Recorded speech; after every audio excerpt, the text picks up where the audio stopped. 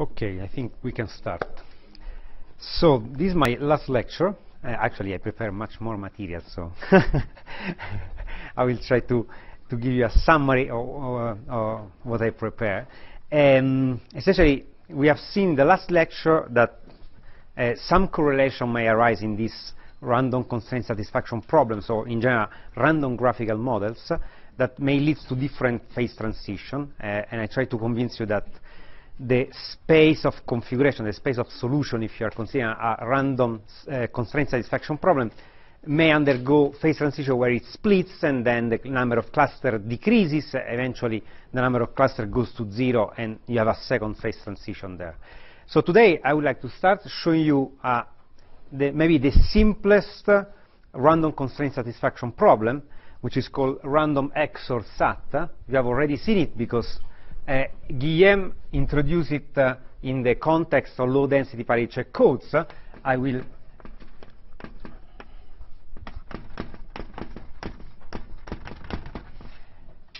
And this model, as I will show you, indeed has a, a phase transition with a clustering, so a dynamical phase transition with a clustering of the solutions, and then eventually a, phase transition where the number of solution goes to zero. Actually, the number of cluster goes to zero, and at the same time, the number of solution goes to zero. So a SAT UNSAT transition, which coincide in this model with the Kauzmann transition. So how is the random, let me add uh, K XOR SAT model. So I will focus on one specific, very specific model. I can be more, much more generic, but there is no reason to, to be so generic, uh, since we don't have time. So essentially, the, the model is made of n binary variables, xi, taking values 0 or 1, and m, which is alpha times n, so uh, an extensive number of linear equations, uh, modulo 2. So the equation that you would like to solve, so these are constraint satisfaction problem because you have to solve this number of constraints in these variables, are, for example, let me stick to mostly to k equal 3 when I do the examples because it's the, the first non-trivial value for k, k equal 2 is, is trivial. Uh, so you have an equation like x2 plus x4 plus plus uh, x7 equal to uh, a constant, for example, b1, and then another equation x13 plus x24 plus x5 equal to b2, and so on, m equation. So you can write in a compact form uh, this m linear equation defining a matrix H taking values 0 or 1 such that H times X is equal to B. Okay, so H, sorry, H i j takes again values 0, 1. So 1 if the jth variable enters in the ith equation. Uh, otherwise it's 0. Okay, so it's a very sparse matrix with essentially k non-zero entries per row, and then uh, the, the, the k-tuple for each equation are chosen at random. Okay, so the, each variable appears in, uh, so the, while k is fixed, the, the degree of each variable is a Poisson variable of average k times alpha. Okay? so the degree in the factor nodes is fixed to k. The degree in the variable nodes is a Poisson uh, variable. Okay, so this is the model, and essentially uh, we are interested to understand uh, what happened to the structure of solution to this linear equation when we change alpha.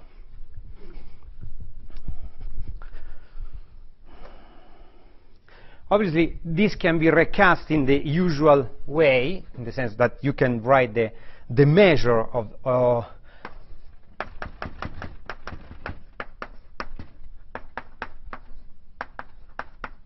Uh, well, let's write it the usual way,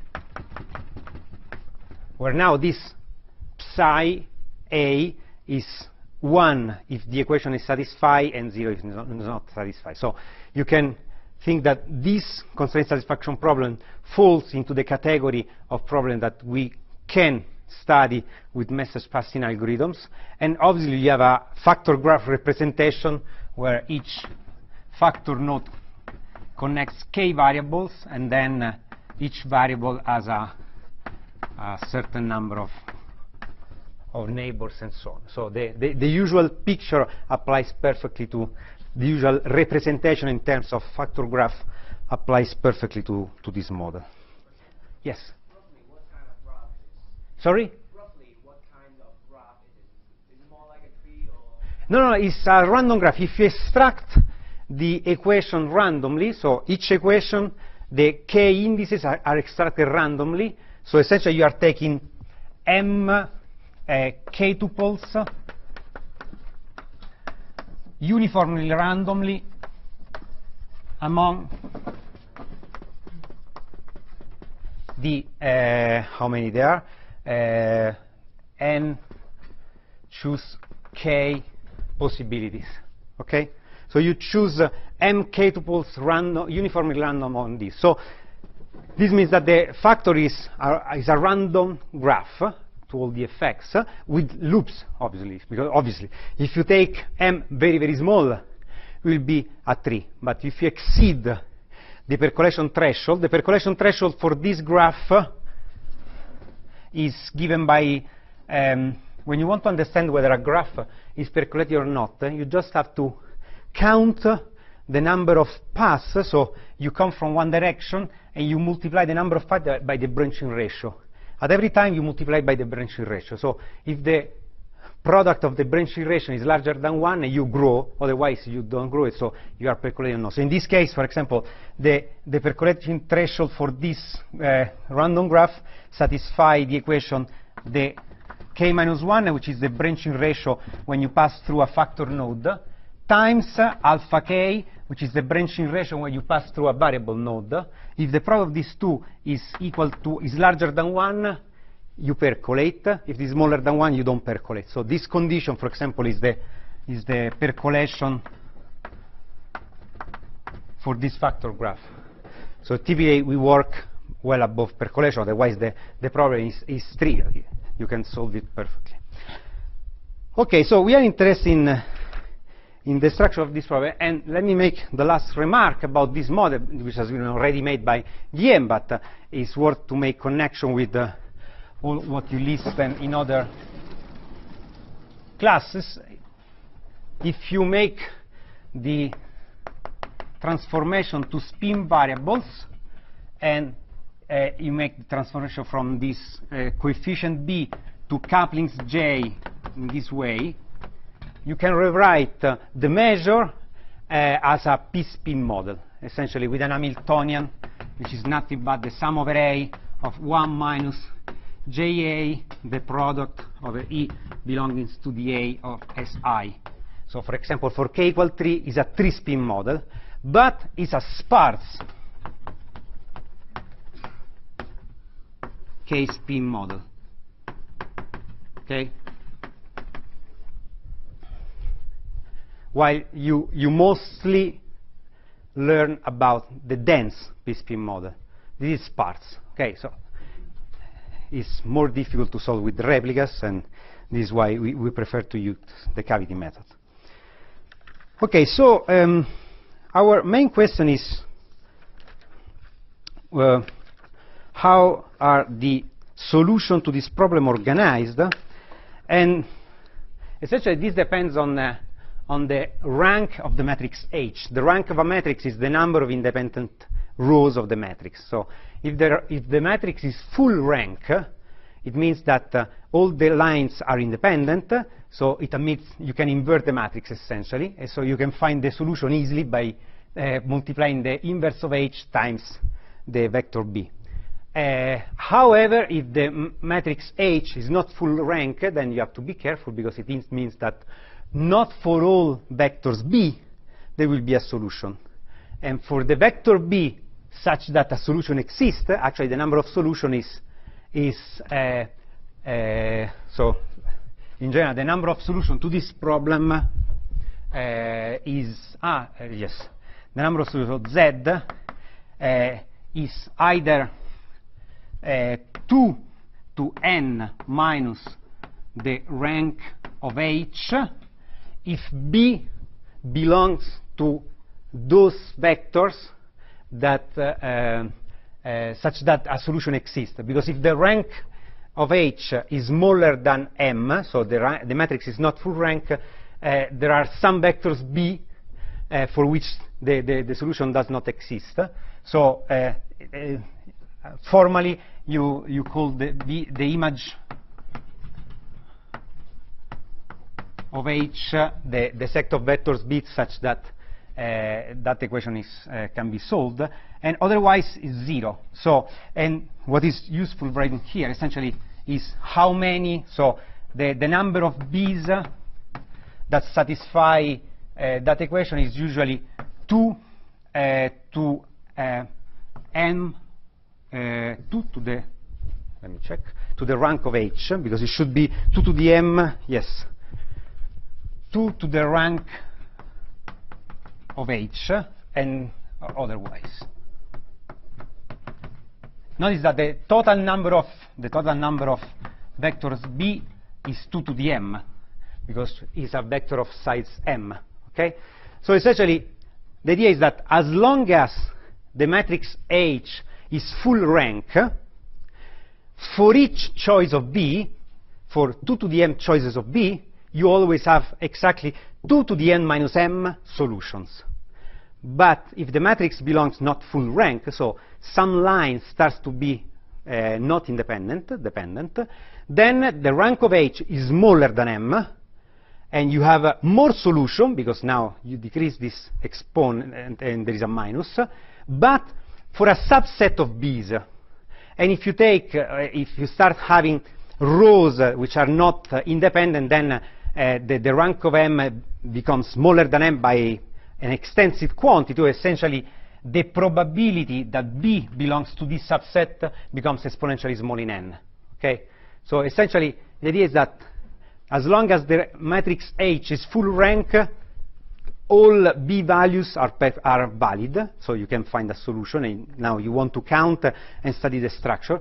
As soon as the matrix H becomes not, uh, not full rank, most of the B values uh, that, uh, don't belong to this case, so they don't have any solution. Okay?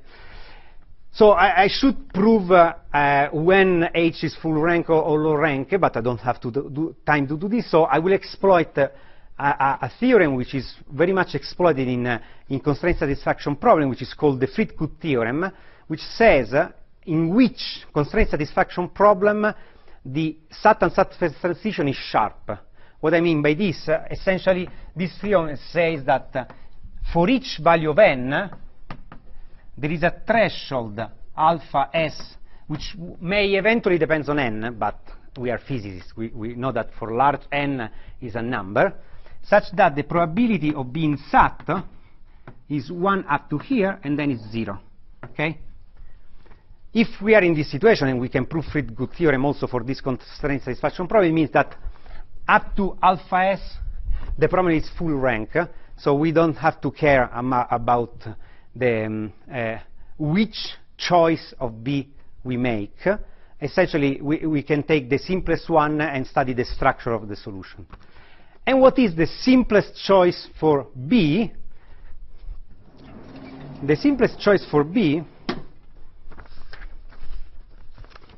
is uh, what is usually called the planted model or in, uh, in the system of linear equation the homogeneous system. So you take B sorry, equal to all zeros. Okay? If you take B equal all zeros, uh, you know for sure that one solution always exists, all zeros. Okay? So essentially, and moreover, let me call uh, let me call S the set of solution to the original problem. So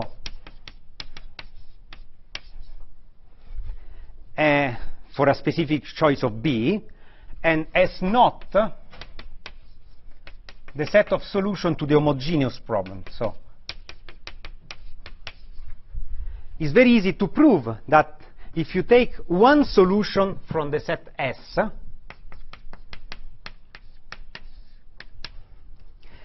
then you can uh, write that the set of solution that you want to study the structure can be written as uh, x star plus S naught. By this I mean, okay, I'm doing the sum between one vector and a set of vectors, but essentially what it's telling you that these two are identical uh, modulo a translation. So if I want to study the structure of the solution set of the original problem, any choice of B, I can study the planted model. As long as the two are equivalent, it means up to here, then, okay, they, they are different because in a random problem, the probability of being sat drops to zero. In the planted model, you always have a solution. So beyond this point, uh, the planted model and the random model are different, uh, but up to here they are identical. So let me study the planted model, which is much simpler. Yes? Yes. So we are taking a, a, a choice which do have solutions. So if you take one uh, random problem which, which, does have solution, then the structure of this solution is identical to the planted model. So if we are interested to study how this, the solution cluster, let me study S naught, which is simpler. Uh, x star minus b? No, because no, because you have to apply the matrix x to x. So x star minus b is is not a solution. Uh, try, but uh, essentially what you have to do, is you have to sum uh, any row of this, any the first equation of this to the first equation of this, and then you get that b remains identical, and you move from x to x plus a, a solution of s naught, and it is still a solution. So essentially, if you apply, the, if you sum to x star any solution of this problem, you still have a solution of this problem. And so this is why they are related.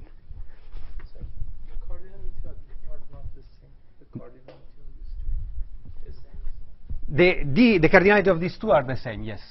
Because as long as the problem is full rank, each choice of v has essentially so for a full rank matrix, the number of solution is always 2 to the n minus m, independently of the choice of the vector b. And so you can choose b equals 0. Okay. Fine. Yes. Should we expect S0 shrink to maybe only one element and alpha is very large? Yes, when alpha exceed this value, in a random problem, you don't have solution. In a typical random problem, in the planted problem, you still have a solution. Not only all zeros, also some solution around it. You will see. So the, essentially, one cluster survives. It's the cluster of the planted configuration. And so beyond this point, you will still have one cluster, uh, and so the number of solutions doesn't go to zero in the planted model. So uh, one more um, property which we are going to exploit, uh, I, I, leave you as an exercise to prove, uh, is that if you take the average over all solution of, say, S naught, so it's simpler, you can, uh, you can prove that uh, there are variables which are frozen to take the value 0, and variables which take the value 0 in half of the solution and the value 1 in half the solution. So variables can be divided in two classes, okay? So two classes of variables. There are the variables that I call frozen, uh, which are uh, equal to 0 for any x belonging to S naught. And there are variables that I call free, that uh, say whose uh, take value 0 and 1 with probability 1 half and 1 half. The probability over the space S naught. Okay? This is pretty simple to, uh, to prove, so I let you as an exercise. Uh, in the random case, you will have also a third class, uh, which is the variable which are frozen to 1. But this class obviously cannot exist in the homogeneous model because at least the all zero solution always exists. Okay, so you just have these two classes. Okay, this is something that we are going to exploit.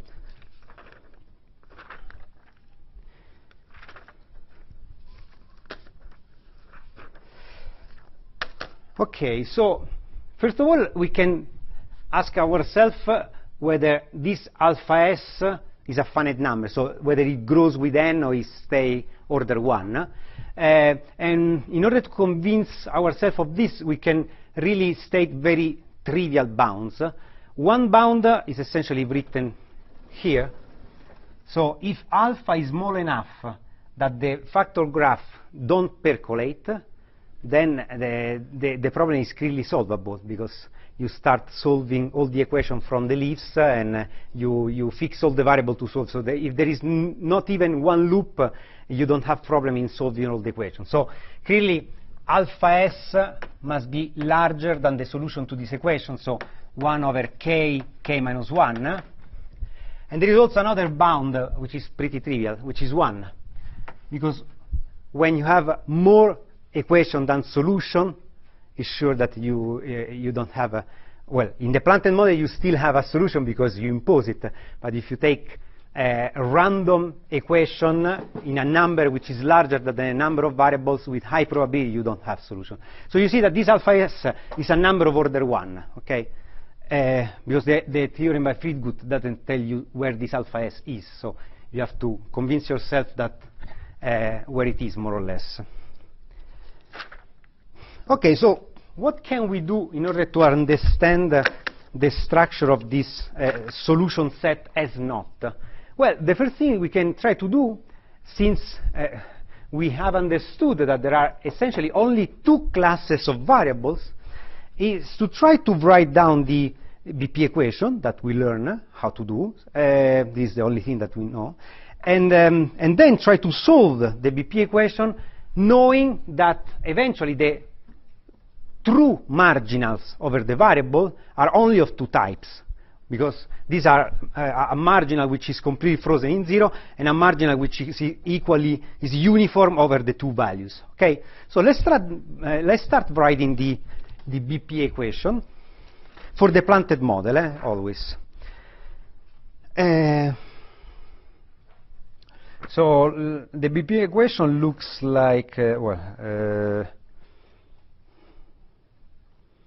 Well, rather than writing the BP equation that you already seen, let me tell you uh, some uh, properties that we want to check on the BP equation. So since we have only these two um, values for the full marginals, let me use also for the cavity marginal these two values. So let me call uh, nu equal star or nu hat equal star when the, um, the, the the, the, the, marginal they represent is 1 half delta xi minus 1 plus 1 half delta xi. Okay? So I'm using this symbol star to represent a marginal which is uniform. So uh, a marginal that essentially tells a variable you are free. You, you can take the two values uh, with equal probability. And I will uh, use the notation nu equal to 0 and nu hat equal to 0 to represent a marginal which is fully concentrated in 0. Okay? So since we just have two kind of marginals, we use these two symbols to represent them. So the, the first thing that one sh should check, uh, so believe me, uh, uh, but it's very easy to, to check, is that uh, if at a certain time, or if the initial condition on all the marginals, so nu at time 0 and nu hat at time 0, belongs to uh, this alphabet, 0 plus uh, star, then they will still belong to this alphabet for all the following times. So essentially, under BP equation, these two, um, uh, if you have in input only marginals of this type, you have in output only marginals of this type. Okay? So also at any time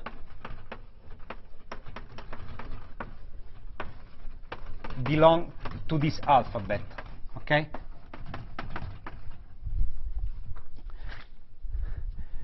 So this is to check, so believe me. So what does it mean? That, okay, uh, we, we are interested in finding BP fixed point, and since looking for any BP fixed point is hard, we are focusing only on a subset of, of BP fixed point, those where we just use these two type of marginals. Now, with this simplification, we can write BP equation, which now is simpler and also more meaningful to do rather than rewriting the general BP equation that we have already seen. So, so these are the simplified BP equations. So in a variable node, you receive nu hat from b to i, and you compute nu from, from i to a. Okay? And it's not difficult to convince you that the rule under this uh, hypothesis of working this subspace is that the outgoing marginal, so you see what happened, essentially uh, this variable xi receive many messages. If at least one message is of type 0, which says you must be 0, uh, he knows it must be 0, and so send out a message of type 0. If all the incoming messages of are star type, all they say you can be whatever you want, and so the variable i send out a message star which says I can be whatever you want. Okay? So essentially the, uh, the rule is that the outgoing message is 0 if at least one nu hat bi, so one of the incoming message is equal to 0, and star otherwise.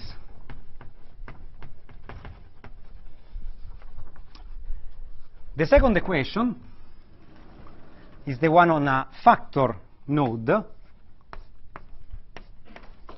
So we receive nu from j to i, and we want to compute nu hat from i to j.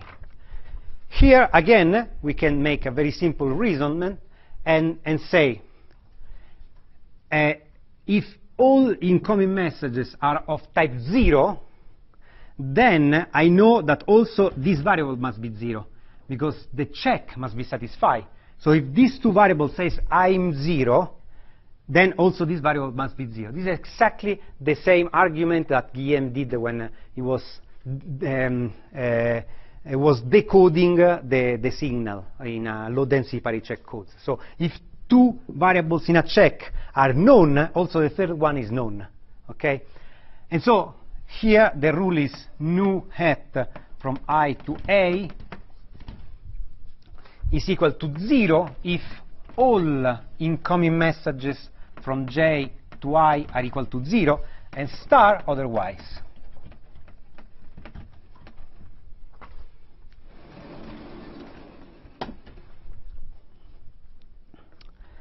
Okay, so these are the updated rule, and now let's see if we can understand what is the fixed point under this updating rule. Okay? And we notice uh, another important, uh, uh, I don't prove it, but I, I, I just uh, state it, that there are a, a, a, sort of partial ordering among set of BP messages. What I mean? I mean that I, I, I call this partial ordering with this symbol. So I say that message nu is uh, larger than message nu tilde if when nu tilde is equal to 0, then also nu is equal to 0. So what does it mean? Essentially, you have to interpret this symbol as nu has more zeros than nu tilde. So if on a given edge, say this is really an edge, so it's i to a, okay? i to a. If on a given edge nu tilde has a zero, I'm sure that also nu has a zero. The reverse is not true because this is an inequality. Okay? So this symbol means messages nu has more zero than message nu tilde. The nice thing is that this property is preserved under BP evolution. So if I start with a, a nu zero which has more zeros than another set of messages, this will remain always with a larger number of messages equal to zero. Okay? So you can prove that if at a certain point, or uh, the initial point, this is larger than nu tilde of t, then this is true for all subsequent times.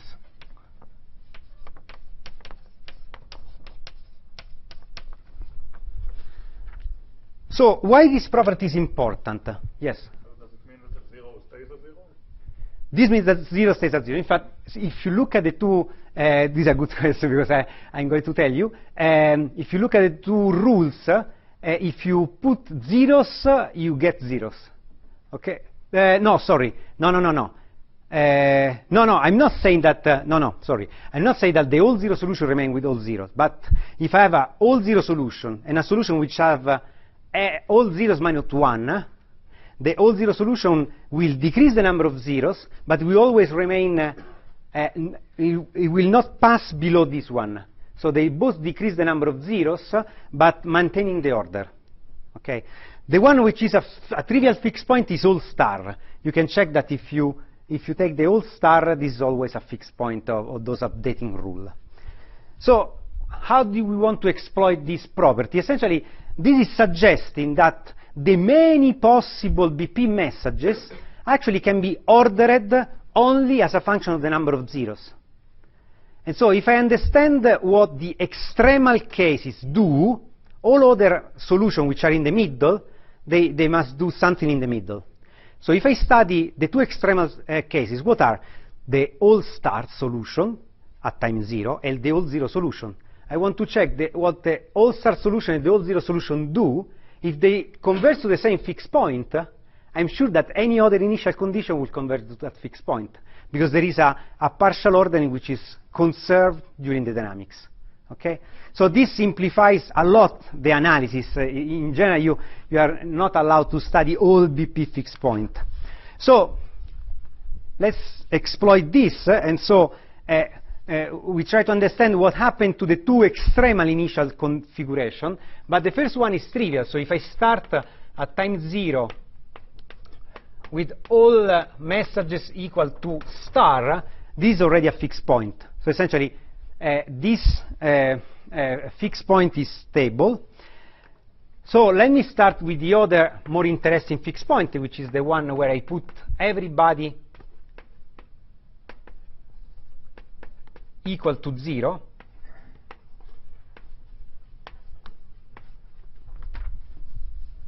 and try to study how this initial configuration evolve under this updating rule. Okay? And um, uh, I hope I can convince you that uh, you can keep track of this evolution by just looking at one number, which is the fraction in all the system of zero messages. So I will try to uh, keep track of this evolution by looking at the quantity I call Qt, which is the fraction of nu, nu equal to zero messages.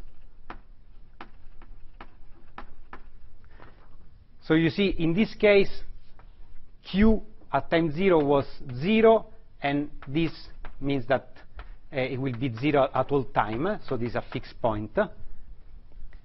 But here I start with q at time zero equal to one, and I want to understand how it evolves. Okay?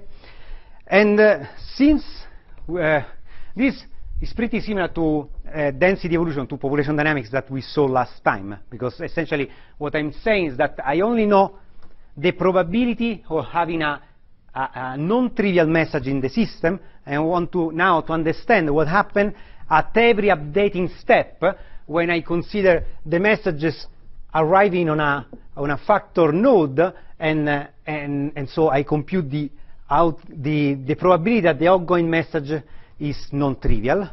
So if you exploit, so if you solve these two updating rule in a probabilistic sense, so you take the incoming messages which are non-trivial with this probability and equal to star with probability 1 minus qt, you can write a set consistency equation which are the following.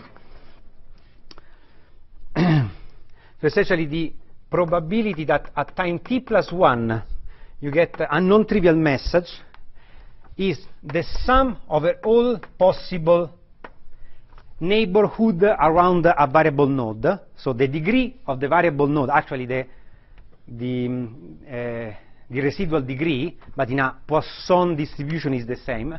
So I have to sum over all possible neighborhood of a variable node with the right probability distribution, which is the Poisson distribution of mean alpha k, so alpha k to the L divided by L factorial. And here I have to put the probability, so I get a non-trivial message if at least one of the incoming messages is non-trivial. Okay? So I have to do 1 minus the probability that all incoming messages are trivial. And so uh, I use this notation. And then um, yeah, and then you have to write uh, according to the to this other equation the uh, probability that the message nu hat is non-trivial, and the probability the message nu hat is non-trivial is very simple because it's just you need all the incoming messages to be non-trivial, so it's q t to k minus 1. Okay? So you see, it's, it's, it's very, very simple to write down this equation, and if you put everything together, you get the, the final equation that we are going to solve now, which is the following. q t plus 1 is equal to 1 minus exponential of minus alpha k. Yes? L should be outside the parentheses. Uh, yes. No, no, no. Uh, it's inside. 1 minus. I, no, it's, in, it's inside, I think, because you have to raise it and, and obtain uh, uh, qt k minus 1. So you want, no, no, you want to, uh, this, the 1 is the 1 and then this you multiply here and you raise it and you get uh, minus alpha k qt tilde. And qt tilde hat sorry is qt to k minus 1 so uh, okay so you have to solve this equation with the initial condition equal to 1 uh, Uh, and let's look how the solution to this equation look like so the solution to this equation, you can find it by plotting the left-hand side and the right-hand side of this equation and checking for points where the two touch. Okay, so the left-hand side is just x or q, and now the right-hand side has this shape. This is 1, this is 1, okay? if alpha is small enough, say alpha is smaller than alpha d, okay? So if alpha is smaller than alpha d, which is a value that now I will define, what happens when you apply this equation is that you start from here, uh, actually you start from 1, then you go here, then you do this, and you reach 0, okay? Now if you increase alpha, this equation eventually touch the, uh, uh, the, the, the, the bisectrix. And so when you do the usual iterative recursion, you stop at this point. This exactly alpha equal alpha, alpha d. And uh, for alpha larger than alpha d, essentially the, the, the points of the, let me say, the largest intersection moves upwards, and so the, you, you will stop sooner, okay? So you see that this is alpha larger than alpha d. So you see that the, uh, the fixed point solution, let me call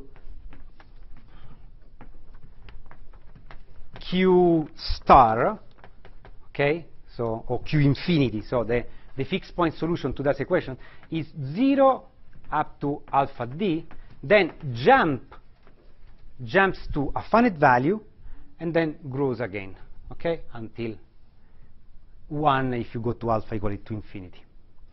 And the value for this alpha d, for example, for k equal 3, if you want to have a number, is 0.818 uh, and 5. Okay? And in general, for large k, it goes like log k over k. So for large k, it goes to 0. Okay?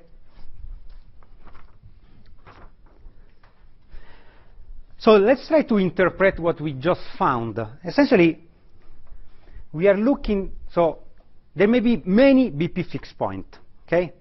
What we are saying is that uh, for alpha smaller than alpha d, we are taking the two extremal possible fixed point, uh, extremal initial condition for BP, which is all star and all zero, and for alpha smaller than alpha d, they both converge to the same fixed point, which is all star. So this means that for alpha smaller than alpha d, there is a unique BP fixed point. So essentially, we prove the uniqueness of the BP fixed point, which is all star. Above alpha d, what we found is at, we have at least two fixed points. Actually, we have infinitely many, uh, exponentially many.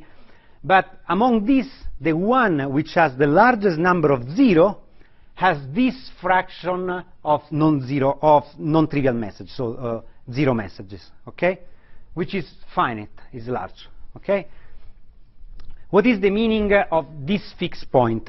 Essentially, we initialize the BP with very specific uh, initial condition, which does corresponds to um, forcing uh, the, let me say, the initial condition to represent the cluster where the zero, the planted solution is. Because essentially we are saying to all the variables, you are exactly zero. So it's like saying that we, we start BP with an initial distribution which is completely concentrated on the planted configuration. And then we let BP evolve in order to adapt self-consistently uh, and solve the BP equation. But we started from uh, all the probability distribution which is concentrated on the planted configuration. So if the planted configuration belongs to a finite cluster, the BP distribution will spread over the cluster, but uh, it, will not leave the cluster. And so what we are finding is the BP fixed point that describe the cluster where we plant the, co the configuration. And uh, more general, uh, the the fact that uh, this qt goes to zero for alpha smaller alpha d uh, can be seen very clearly in terms of uh, point to set correlation because if you do the, the same drawing we do, did yesterday when we studied the point to set correlation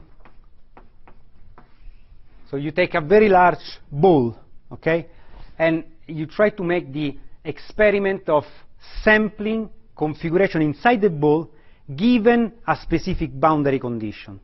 So suppose that you want to constrain as much as possible this variable. What is the most constraining configuration that we want to we can put on the boundaries? Is constraining. So what is the most constraining configuration of variables? I mean the planted model. Eh? The most constraining configuration is putting all the variables equal to zero which is exactly so. If you put all the messages equal to zero, so you are forcing all these variables to be strictly zero, now you can ask yourself, by this very strongly constraining initial configuration, do I know something about the central spin? And what you see is that when you solve BP along the tree, you are doing exactly this, okay? So the number of zeros decreases going into the ball exactly with this iterative equation, okay? So if you are at alpha smaller than alpha d, what the equation says is that at the end, uh, when the ball is very large, the, the, the, the, the measure on this variable is uniform, is, is a, it receives a star. Okay? So even putting the most constraining boundary condition, the central variable is unconstrained. So this is telling you that for alpha smaller than alpha d, uh, you have a condition which is even stronger than extremity, it's called uniqueness. Essentially, it's telling that even with the worst, not with a configuration extracted from the probability distribution, no, even with the worst configuration on the boundaries, you are not able to make any constraint on the central variable. Okay? So this is a very strong correlation decay. It's even stronger da, than the extremity, uh, than the non-reconstructibility. Uh, and so essentially, this is telling you that for alpha smaller than alpha d, this model cannot have any correlation any long-range correlation, okay? So for alpha smaller than alpha d, this model is replica symmetric. Now the question is, can we understand a little bit better what happened above alpha d that because of the name I give it, uh, you, you, already understood that is the point where we have clustering. So in order to understand a little bit better how the, the cluster of this model looks like, I will tell you more or less uh, what we did without enter too much in detail. Uh, essentially, you want to do the following. The, the, the graph, the factor graph representing this formula, uh, as all factor graph, has regions which are more dense of constraints uh, and regions which are less dense of constraints. The idea is that the part that eventually um, makes the model unsat uh, is the part of the graph uh, which is more dense, because you have more constraints per variable in that part. So the idea is, let's try to remove the part of the graph which is less dense, so which should be less problem problematic to solve, and let's keep the part of the graph which is denser, and maybe is the one that drives the transition to, uh, to unsat. Okay? And so the, the, the, idea we had uh, in 2003 when we solved this model is to um, start peeling or removing the leaf of this model. So suppose that here the, the model continues. So suppose that you have a, a leaf. So uh, you can uh, take one variable of degree 1, remove this variable and the close okay? And keep track of this. So suppose that this variable is i, and you keep track somewhere that uh, xi will be a function of these two, this j and k, okay? So xi will be, and this variable i. So xi will be xj plus xk plus ba, because you this generic. And then you remove this part, okay? And you keep track of this. This is like doing a sort of smart Gaussian elimination, because Gaussian elimination does the following. So you take one variable, you write it as a function of the others, and you simplify the equation. If you take variables of degree 1, it's smart Gaussian elimination, because you don't have to make any substitution in the remaining equation, because the variable was a degree 1. So once you take it out, uh, it remains uh, no variable xi in the remaining equation. So it's a smart and very fast Gaussian elimination because it's linear, okay? Instead, Gaussian elimination usually is n cube. So you start uh, removing all the leaves, all the leaves, uh, and so the, the algorithm works very simply as long as there is one variable of degree 1, remove the variable and the corresponding clause, which is only 1 because it's a variable degree 1. And you go on, go on, go on, until you stop. When you stop, two things may happen. Either you remove everything from the graph. In that case, uh, it's very simple, because since you have all these equations very ordered, uh, maybe you remain with some isolated vertices, you give values at random to the vertices, and then you use the same equation to rebuild the graph, and you found a solution in linear time. So if, so if you uh, eat all the graph by this leaf removal algorithm, uh, you have a, a linear time algorithm for finding a solution. On the contrary, and this is the interesting case I want to discuss now, it may happen that uh, after you run leaf removal, so you remove some, let me say, um, dangling ends around the, the graph, and you remain with a part which is called the two-core. Why it's called the two-core? Because it's a subgraph. So the two-core is a subgraph where variables have degree at least 2, okay? Where di is larger or equal than 2 for any i belonging to the, to the 2 core, okay? Factor nodes always have degree k because uh, you are not changing the factor node. You either remove a factor node or you keep it, okay? And this is the interesting case. Indeed, if you, if you write the equation for leaf removal, you realize that essentially they are pretty similar to the, to the one we wrote above, and, uh, and, and, you can prove that the two core appears exactly at alpha d. So before alpha d, when uh, everything was trivial, we just found a linear time algorithm for finding a solution. Above alpha d, a two core arise, and so we have to understand what does it mean. Actually, there is a one-to-one -one correspondence between the core and the fixed point of BP, and uh, uh, with a little bit of thought you can convince yourself of this, and essentially on the core, all messages, so all nu and nu hat and nu hat are zero messages, okay? So on the two core, along every edge, there is a nu and nu hat message of type zero. So essentially this is saying that on the two core, sorry, if you start from that particular initial configuration, eh?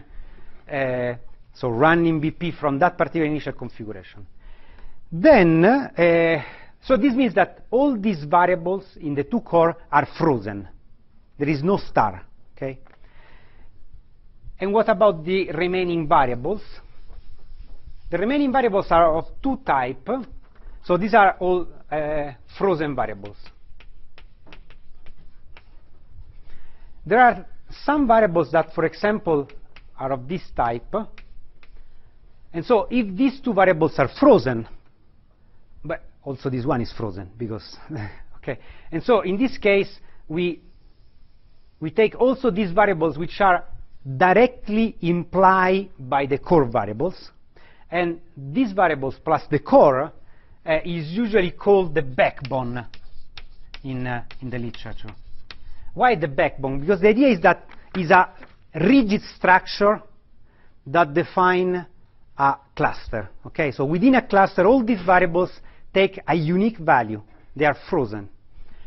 And then there are many other variables that are free, because, for example, if you have one variable belonging to the core, which is attached this way to other two variables, you see that these two variables are not implied. Essentially, if this is 0, these two variables may be 0, 0 or 1, 1.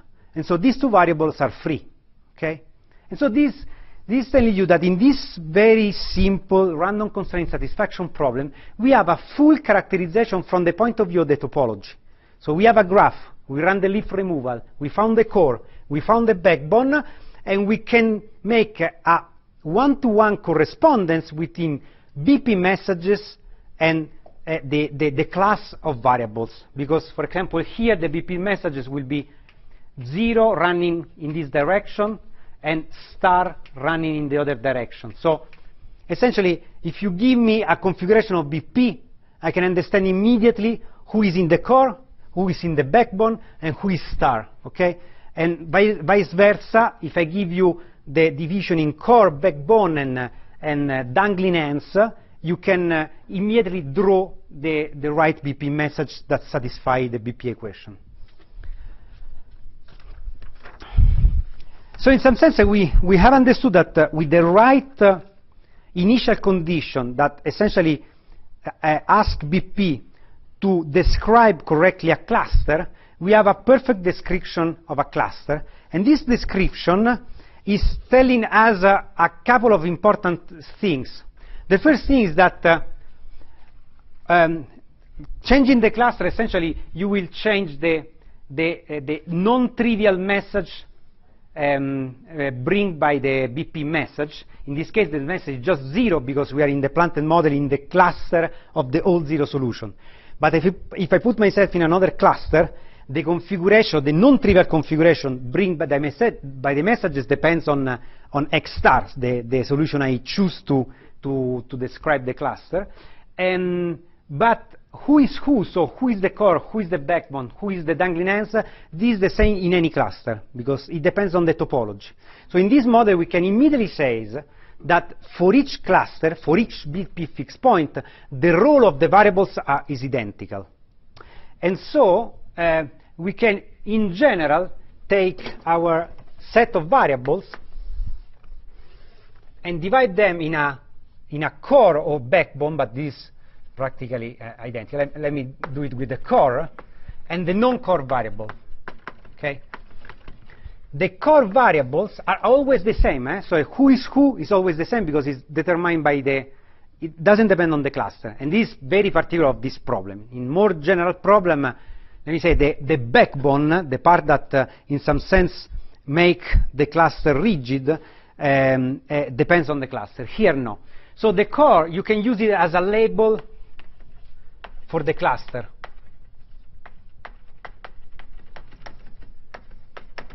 Because all the solutions in the cluster share the same configuration on the backbone. Okay? So if I have uh, many solutions within a cluster, they will have this part equal, actually even the backbone part, but let me concentrate on the core. And then here in the dangling ends, so uh, there is a backbone part and then dangling ends, in the dangling ends, they can take many configurations. But this part is unique. Okay? So what's the idea now? We, we want to count this cluster. And what do we do? We count core configuration. Okay? Because each fixed point of BP is determined by the value on the core, because outside the core is star. Okay? So uh, we have different fixed point of BP, each one belonging to to, to a cluster. And so we want to count the, the, the, the, number of this core configuration. But before doing this, uh, let me convince you that on the core, we where we have a denser number of constraints, we do actually undergo a phase transition before alpha equal 1. So since we reduce to the densest part of the problem, now here the ratio between number of equations and number of variables is higher than in the original problem. And so it may happen that for alpha smaller than, uh, than 1, uh, we may undergo a, a, phase transition. And so this can be done again uh, in a rigorous way. So this is a, a model which has been rigorously solved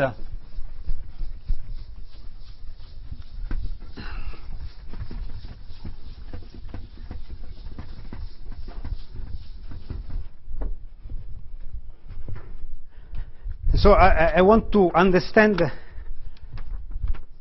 somehow what is the size of the core. So number of variables and number of, clauses on the core.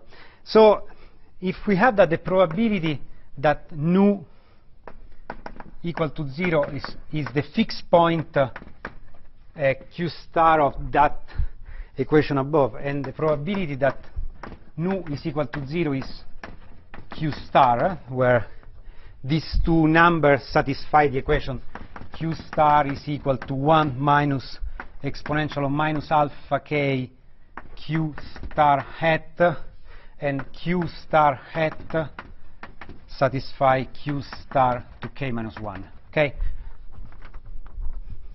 So if you have this statistical description of the BP messages on the core, uh, you can easily understand what is the number of variables in the core. For example, the number of variables in the core is the number of variables of the original problem, and then this 1 minus the probability of receiving either 0 or 1 messages of this type.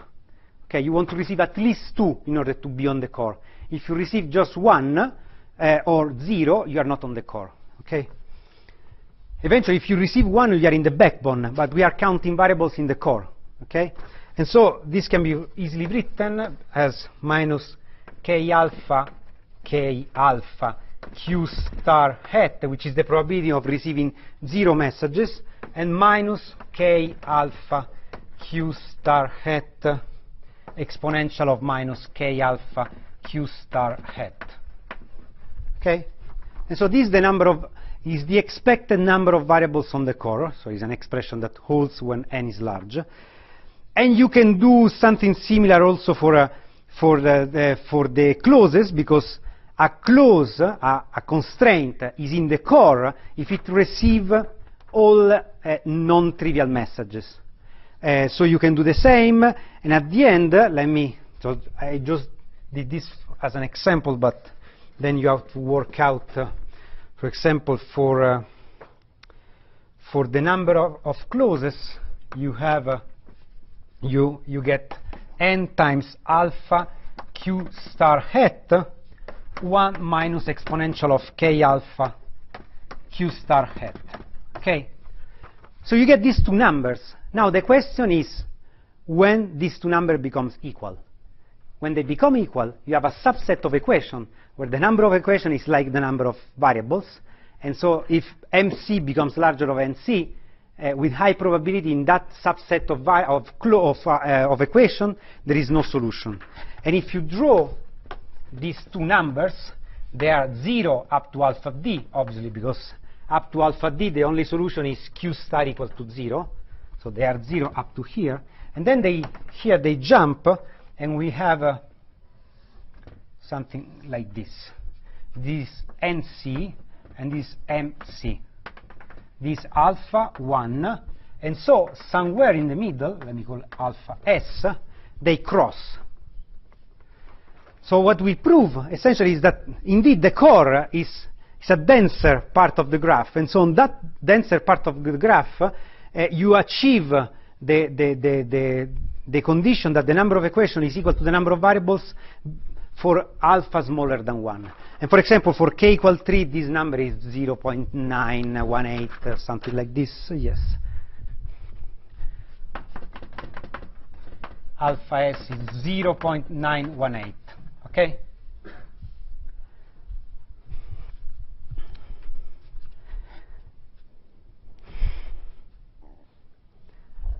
Okay, from this plot, actually, here I didn't plot correctly, they have an infinite derivative of, uh, as every time you have a first order transition, but okay. Uh, you can also prove, I, I, will not do it, but uh, you can also prove that on the core, the MC equation are all independent. So on the core, the number of solutions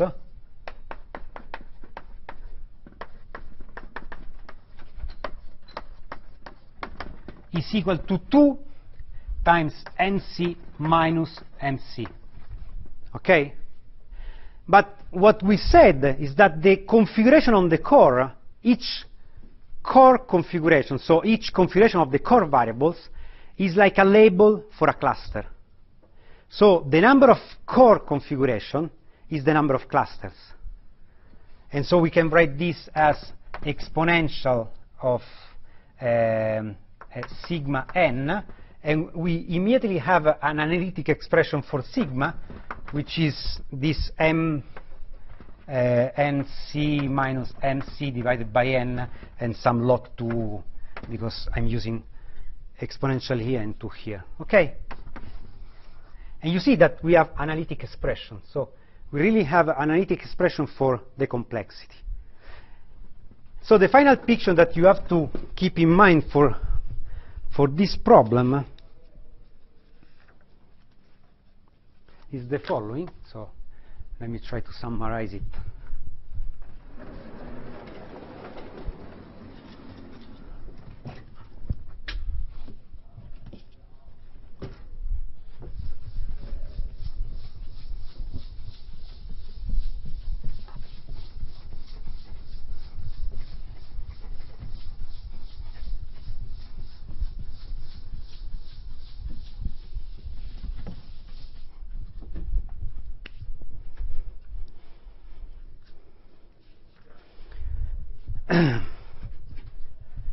So we have a exponential times sigma n solution for the core variables.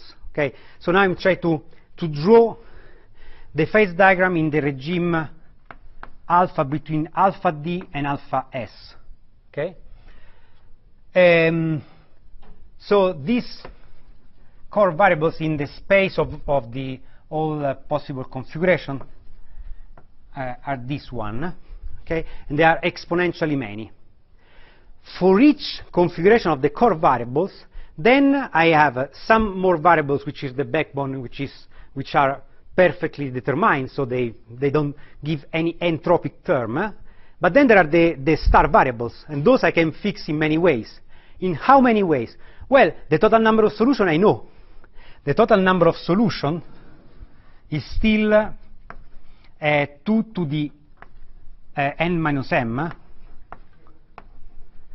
And since all clusters are identical, because, uh, because of that uh, topological properties of, of the structure of the graph, uh, the number of solutions per, per, um, uh, per uh, cluster will be this one. Okay? So let me define this as exponential of ns, so the, the number of solution per cluster. Okay? So the total number of solution divided the number of cluster is the number of solution per cluster. So what does it mean? That the, the, the variables on the dangling ends uh, can, can still take this number of assignments uh, and they provide you a cloud around each of these core configuration. Okay? This picture is exact. So we do have uh, an exponential large number of clusters. Each one has an internal entropy. And what you can prove, uh, uh, I will not have time to do this, but uh, the, the distance between any two of these points is of order n, while uh, inside you can visit uh, all possible solution by changing the variable on the dangling ends, which are much easier to change uh, because the variables in the core, if you want to change, you require to do a, a, a huge modification of the variables of the core. So you can prove that in order to go from here to here, you need to change order n variables.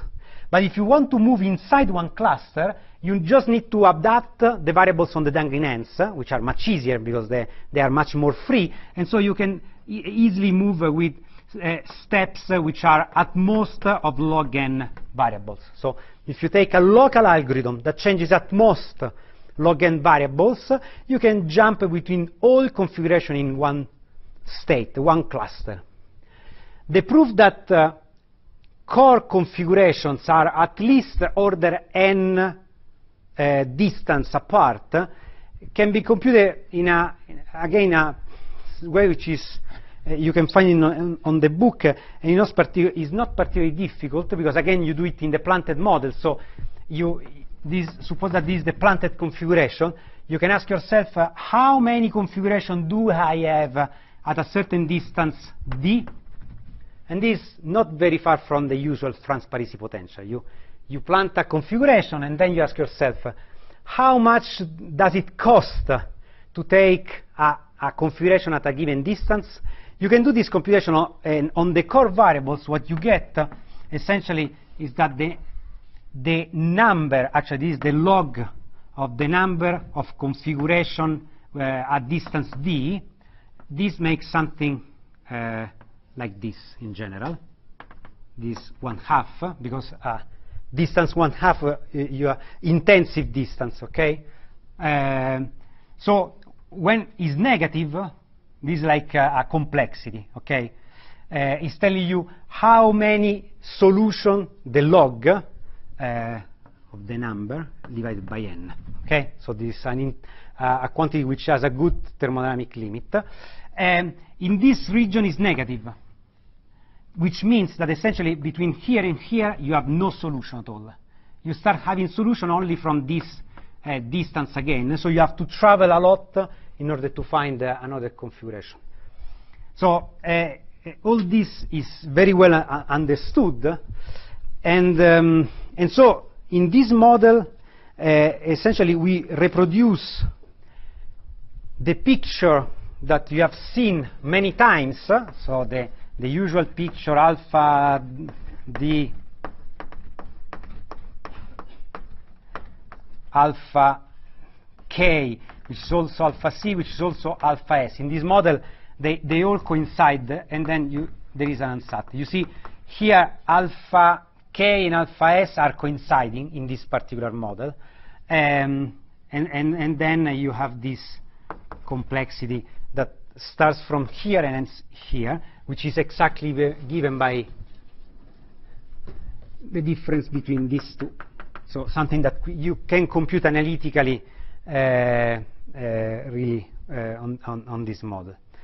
Okay, so this was just to convince you that a, a very simple model that we can fully solve has the phase transition that we usually claim to be there in, uh, in models where that we can study with uh, replica method, with cavity method.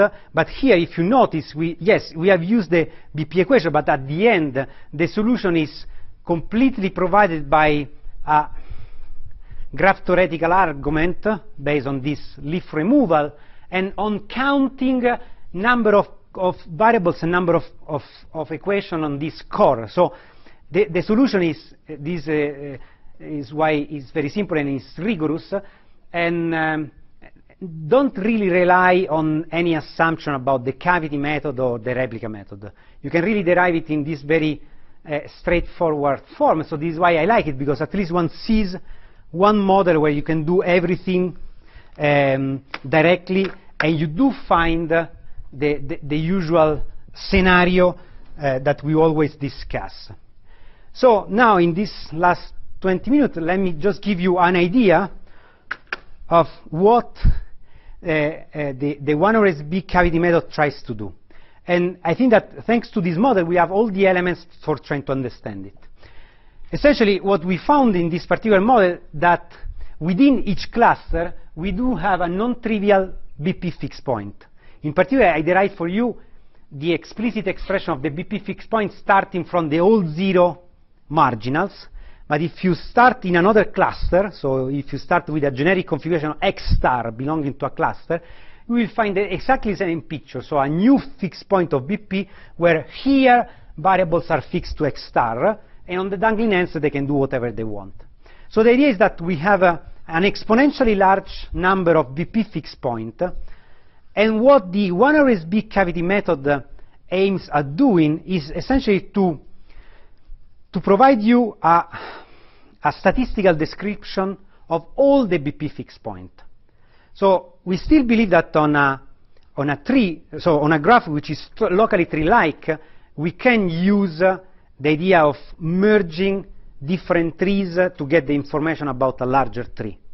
But what we have to change with respect to the assumption that we were using in BP is the fact that the, the, the configuration that we put on the boundary is no longer um, um, factorized.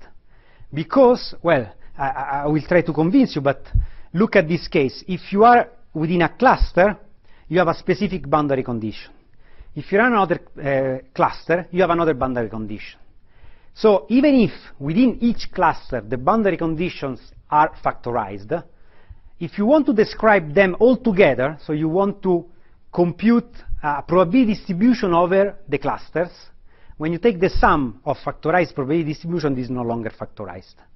Okay, so the idea is that now we want to modify the probability distribution on the boundaries and try to see if this can be still uh, described in a statistical sense.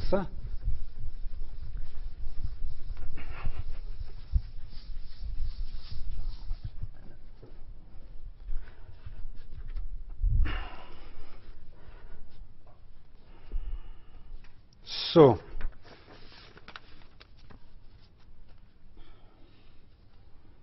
so essentially we made the, the, the following assumption.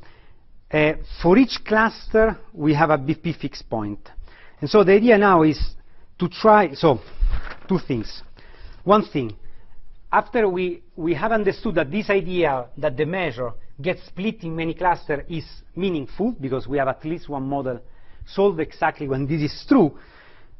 Essentially, what we assume is that the probability measure over the joint, uh, the joint probability distribution over the n variable can be written as the sum over a set of states, cluster, call it as you want, which is exponentially large, uh, of some weights time the probability distribution within each state, okay?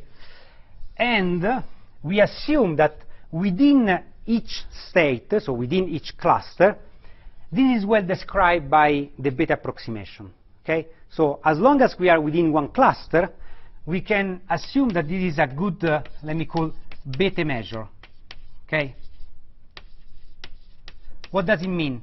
It means that if you're interested just in describing this probability, joint probability distribution, uh, there is a, a BP fixed point uh, whose messages well describe this probability distribution in the usual sense, so in the sense that you look at a very large neighborhood, you put the right boundaries, and you get all the information about this Bethe measure.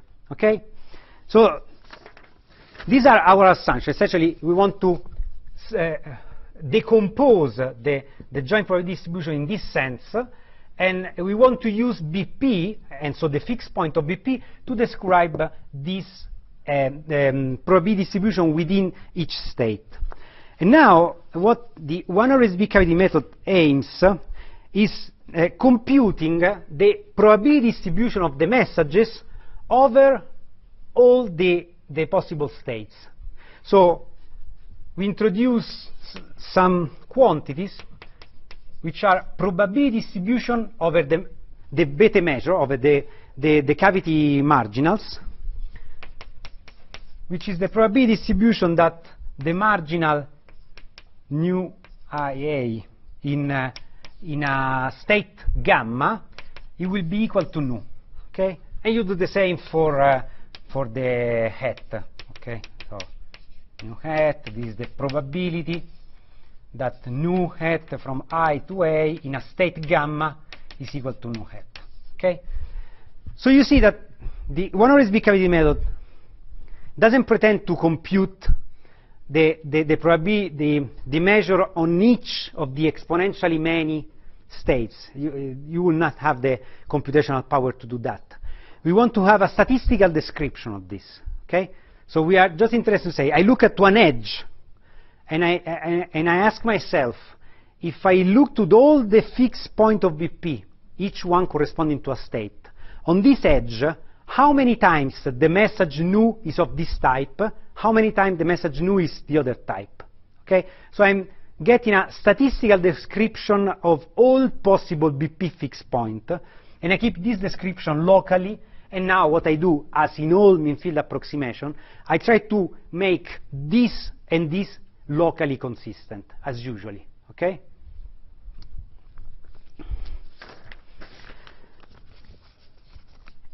So when you try to make it uh, um, consistent, uh, there is a key point, uh, which is the, the main point I, I, I want to make. so if you understand this, you got the, the, the one RSB cavity method.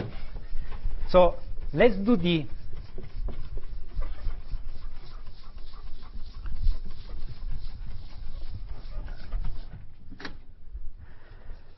So let's look what happened around vertex i. So again, there are, say, a couple of messages entering. Now the messages are of this type, okay? So you, re you, you receive something like q hat from c to i and q hat from b to i. These are b and c, okay? And from this, self-consistently, you want to compute some q from i to a. Okay? This is a.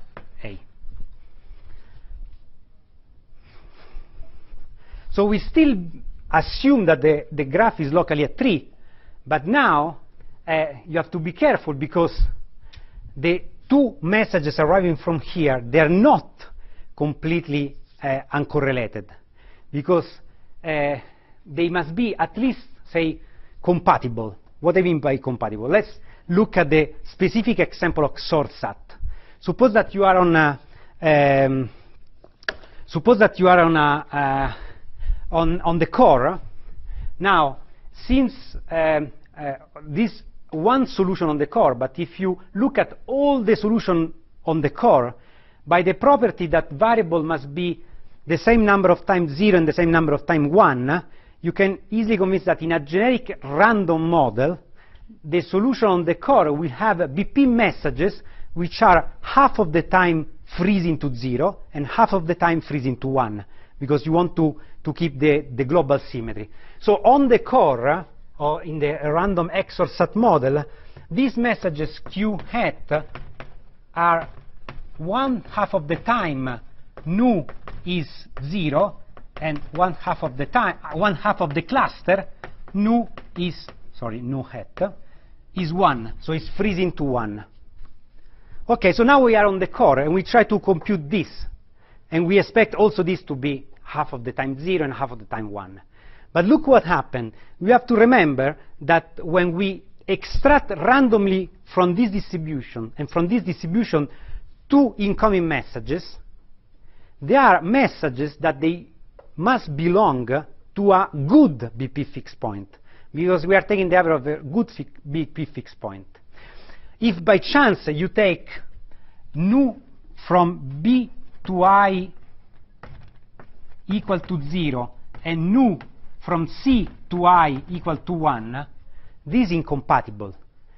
There is no BP fixed point that tells a variable b0 and b1 at the same time. The BP fixed point on the core is a good BP fixed point. So all the messages arriving on one variable, I'll tell into the variable, you are frozen to the right value, which is the value x star, uh, which is a random solution of that cluster. So this configuration can never be happen. Okay? So what you have to do when you, when you uh, go to this statistical description over the BP fixed point, when you merge two subtrees, you have to be careful that the messages that you randomly extract from this distribution, this distribution are at least compatible. Otherwise, you are not doing a good description of real BP fixed point. And so if you impose this, uh, essentially, uh, you end up with a with an equation which is very close to the most general one. Uh, I, uh, I, did this very simple case in order to be fast, but uh, we arrive to something which is very close to the 1RSB equation, which is the following. So QIA, so this outgoing message, is proportional to, uh, normalization constant, we don't care, you take the sum over all possible choices of incoming messages extracted from this and this, okay? So sum over all possible choices of incoming messages from B to I with B that belongs to the neighbor of I minus A. Each message is extracted from this probability distribution, so I multiply times the corresponding probability distribution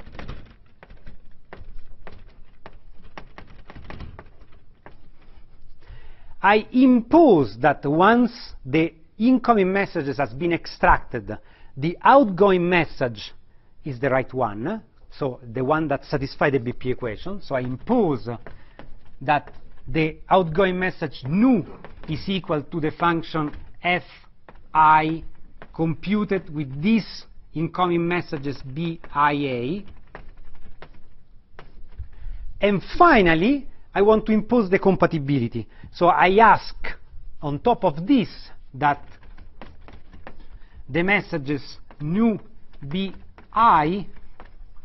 are compatible.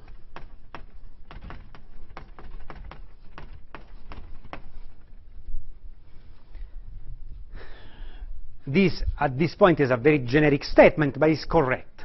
Okay? So essentially, uh, these are a simplified version of the what are called survey propagation equation. Okay? So in general, what happens when you generalize this argument? So this argument of merging subtrees to obtain a larger tree, but in order to satisfy this uh, compatible uh, compatibility equation? Well, in general, what happened is that since each, well, it's very, it's very hard to say that, suppose that you call a configuration compatible if, under that configuration, you still have at least one solution. This is good. Okay, if you still have at least one solution, that configuration is not dramatically wrong. Okay, um, and so indeed, uh, what happened in, general. So let me write the general equation, which are very similar to this, but uh, I can at least show you the the, the general equation.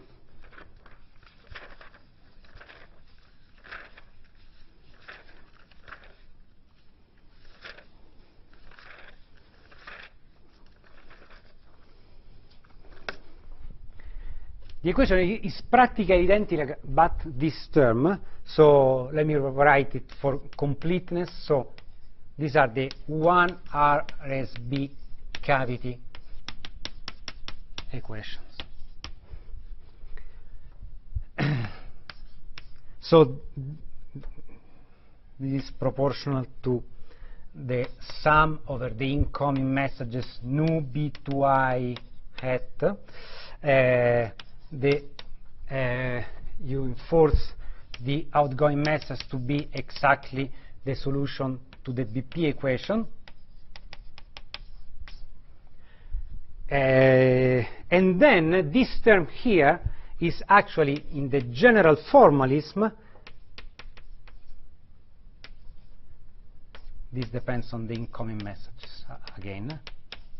So it's the ZIA, which, if you remember, was the normalization constant entering exactly this BP equation. Now I will, I will try to explain you why. And finally, you have the measure of it, the, the, the new message. So you have the product over B uh, of the Q hat B to I nu B to I hat. Okay? And if you write the other one, uh, just for completeness, uh, you get the sum over the incoming messages nu j to a,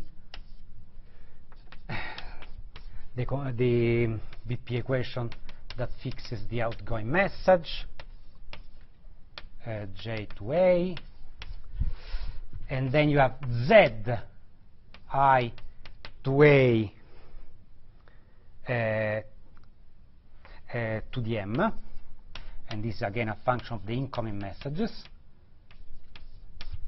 And finally, the measure of the messages, which is the product of all the q, j to a, nu j to a.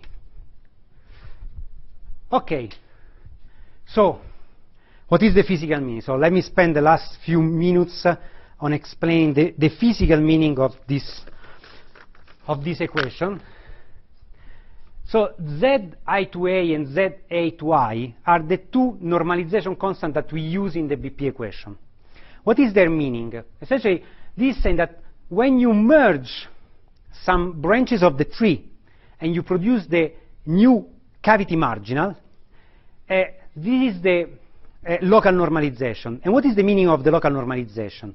Actually, it's a is, is proportional to the number of solutions that you will have in the larger tree when you merge the, the branches. So having a large Z, it means that when you merge these marginal probabilities, they are very compatible, and they produce in the larger tree that you are, you are just building a large number of solutions. On the contrary, if this Z is small, it means that you are merging some marginal probabilities which are almost incompatible. So they, they are asking to variable xi to be, some of the branches say, no, you have to be positive, and some of the branches say, no, you have to be zero. And, and so the, the variable is very undecided. In practice, when you compute the normalization constant, uh, is very small, which is because it's proportional to the entropy of solution that you can have uh, merging those branches. So what these equations are doing, and essentially they are weighting each solution with the number, so each cluster with the number of solution it contains. Okay, so this is the, the physical meaning. And why I'm putting this M here? Oh, say, first of all, how do you recover this? Well, because in the XOR SAT model, essentially this Z is either a constant or is zero. So in the incompatible case, it's zero, and so you have to remove. So this Z to the M in the XOR SAT model becomes a, uh, just a condition that Z must be compatible, because if they are incompatible, it's zero, and so that case doesn't happen. If they are compatible, it's non-zero, it's a constant, so you can remove it, and so you can, uh, this one RSB equation in the case of XOR SAT becomes much easier because this either 0 or 1. But in general, no, because in the XOR SAT we saw that all clusters are exactly of the same size. But if clusters are of different size, the weight that you want to give to each cluster when you compute the, we wrote it last time, uh, when you compute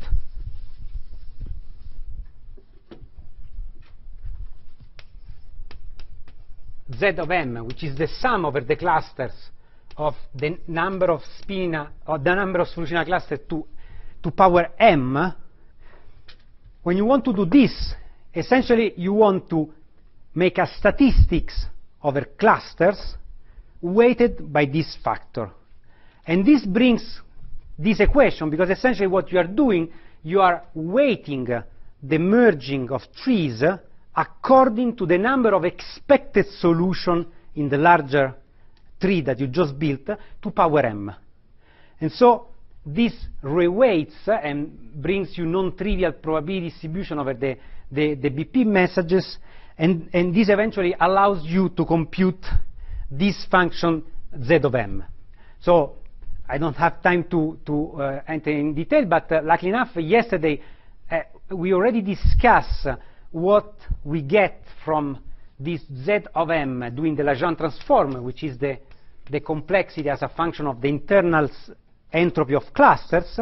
And so, uh, the, the, let me say that the, the final picture is that uh, you want to compute this function in order to understand all possible phase transition that takes place in these models.